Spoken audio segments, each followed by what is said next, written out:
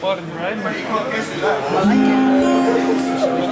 So we all live, we all cry, and then we work until we die.